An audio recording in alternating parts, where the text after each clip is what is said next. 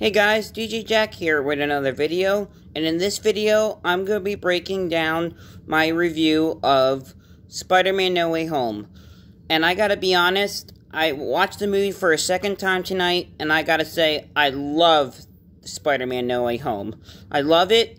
I love how they brought Doc Ock back, and, and Jamie Foxx with, with Electro. I mean and I love, I mean, Spider Man No Way Home, you have nothing, nothing, nothing to complain about that movie. That is an absolutely an excellent, fantastic movie.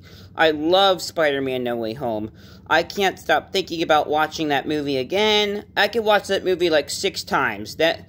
That's such a great Spider-Man movie. I gotta be honest. Marvel and Disney did a and and Sony did an amazing job. So I just want to say this is an awesome movie.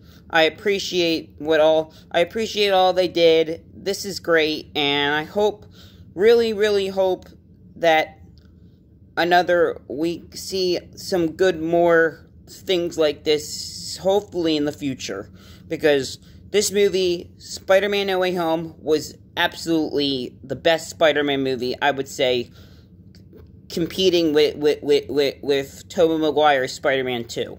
I love it. I mean, as some people say Spider-Man 2 is the best ever ever made by, by the one that Sam Raimi made, yeah, with Doc Ock. But I gotta say, Spider-Man No Way Home might beat might have beat Tobey Maguire's Spider-Man 2 to me. Because guess what? It was so so good. Oh my god. I can't I can't say how much I love that movie, and I'm gonna say I love it. So that's my review of Spider-Man No Way Home and what I thought about it. So hopefully you guys will like it too, and hit that comment below, and I hope to see you guys soon for another video.